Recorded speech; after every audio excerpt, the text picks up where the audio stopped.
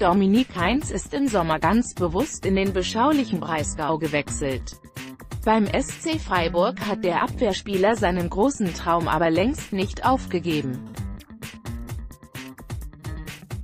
Für einen Verein mit Champions League-Ambitionen hat sich Dominik Heinz nun wirklich nicht entschieden. Ganz bewusst wechselte der 25 Jahre alte Abwehrspieler im Sommer vom Absteiger 1. FC Köln in den beschaulichen Breisgau. Seinen Karriereplan hat der 25-Jährige aber auch beim SC Freiburg längst nicht aufgegeben. Mein Ziel ist es oben anzukommen und vielleicht irgendwann Champions League zu spielen oder bei der Nationalmannschaft anzuklopfen, sagte Heinz zuletzt der Bild-Zeitung. Das ist natürlich schon ein Traum. Volles Vertrauen in Christian Streich statt nach Freiburg hätte der gebürtige Pfälzer nach der vergangenen Saison wohl auch zu Borussia Dortmund, Schalke 04 oder Eintracht Frankfurt wechseln können. Diese drei Clubs spielten unter der Woche alle erfolgreich im Europapokal, waren international im Fokus. Heinz trainierte in Freiburg, ich bin überzeugt davon, dass Christian Streich, Trainer des SC, D.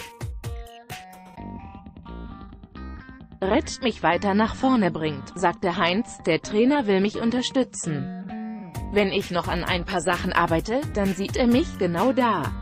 Er sieht in mir, was ich auch selbst in mir sehe. Wenn ich weiß, der Trainer steht hinter mir, dann traue ich mir natürlich viel mehr zu. Nationalmannschaft? Warum sollte es nicht klappen? In Freiburg zeigen die beiden Innenverteidiger Heinz und Manuel Bulde seit Saisonbeginn gute Leistungen. Was in den Strafraum kommt, wird in der Regel sauber wegverteidigt, sagte Heinz zuletzt. Vielleicht ist es dabei ein Vorteil, dass Bundestrainer Joachim Löw des Öfteren im Schwarzwaldstadion zu Besuch ist. Warum sollte es nicht klappen? fragte Heinz im Sommer im Kicker-Interview angesprochen auf den Umbruch in der Nationalmannschaft nach dem WM-Desaster. Das Beispiel Nils Petersen zeigt, dass das auch beim SC möglich ist.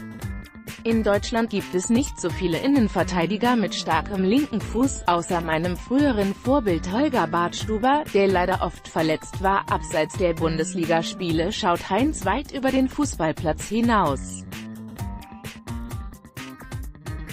Bereits mehrfach organisierte der 25-jährige Benefizspiele für ein Kinderhospiz in Dudenhofen.